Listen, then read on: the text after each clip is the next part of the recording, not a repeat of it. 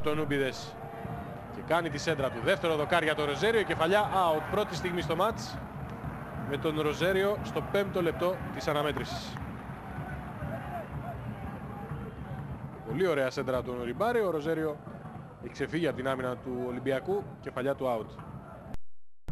Του Ολυμπιακού. Η κεφαλιά στέλνει την μπάλα στο Σολάκη, ο οποίος με τη μία σουτάρει out. Στο 9. Πρώτη ευκαιρία για τον Ολυμπιακό.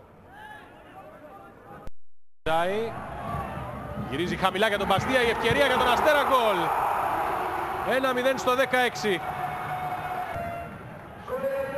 Και αφιέρωσε τον γκολ στον Ντεγκρά. Γκολ που ξαναβλέπετε δυνατά με το αριστερό, καμία τύχη. Ο Γιακούποβιτς 1-0 από τον ε, Αντριάν Μπαστία.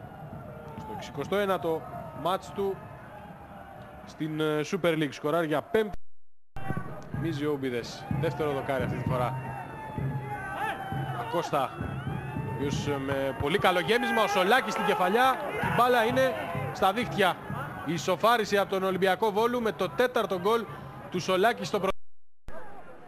Είναι πολύ καλό το γύρισμα του Ακώστα με το δεξί.